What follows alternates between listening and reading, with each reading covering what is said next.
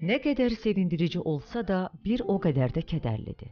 Bura atamın böyüyüb başa çatdığı yurtdur. Atamın mənə yazdığı dəvət məktubundan sonra mən bura 1991-ci ildə gəlməli idim, yeni ili qeyd etməyə. İndi isə mən bura sadəcə xatirələrin arxasınca gəldim.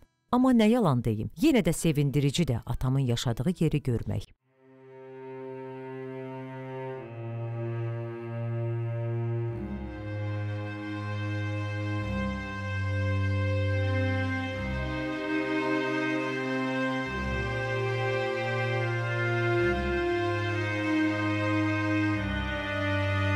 Nəhayət ki, mən bunu edə bildim. Atamın ocağına ayaq basdım. Çox həyəcanlıyam və hər şeyi öyrənmək istəyirəm. Çox təəssüflənirəm ki, atam həyatda yoxdur. Düzdür, bacı və qardaşlarım mənimlə üz-üzə gəlmək istəmədilər, amma mən onları qəbul edirəm. Təsəvvür etməyə çalışıram onlar burada necə böyüyüblər. Bəlkə də bu balaca tarlada atamla birgə əkin-biçin ediblər. Hisslərimi ifadə edə bilmirəm.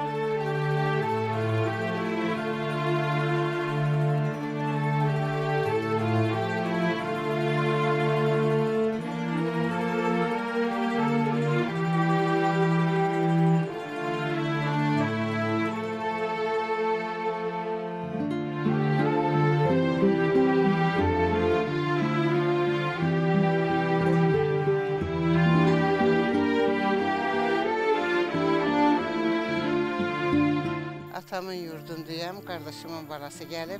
Onun arxasında mən varam. Neynək? Görək bu nə olacaq? Mən gedəcəm yanına, Rusiyyətə də gedəcəm. Yoxlayacam gedib orada mən onu. Ağlama, ağlama. Ağlama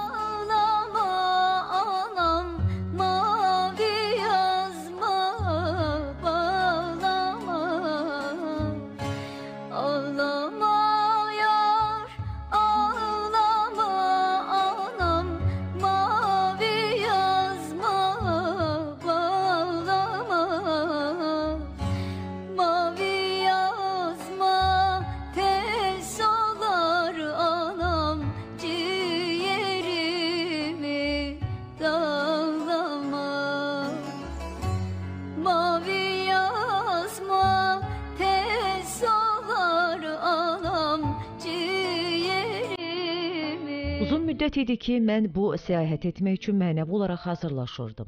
Öz qohumlarımı, bacı qardaşlarımı görmək və bağrıma basmaq istəyirdim. Lakin bura gəldikdən sonra içimdə bir boşluq, kədər və həsrət yarandı. Eyni zamanda isə xoşbəxtəm və biraz da məyus olmuşam. Elə bil ki, nəyəsə nail oldum, amma yarımçıq olaraq qaldı. Natamam qalan arzularım. Heç belə olmamışdım. Ola bilər ki, mən çox şeyi itirdim bu həyatda, amma ən azından artıq mənim bibim var. Atamın qoxusunu ondan alacağım tək şəxs. Və bir də bunu kəşf etdim ki, bura vətəndir. Mənim vətənim.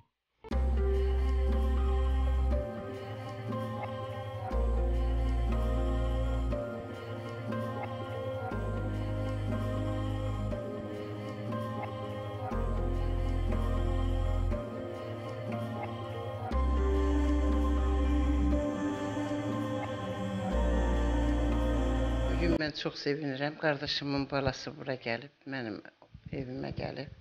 Xoş gəlib, safa gəlib.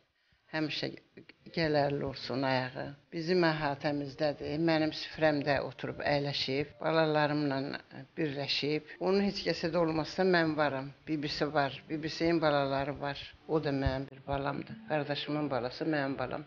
Heç fərqi yox.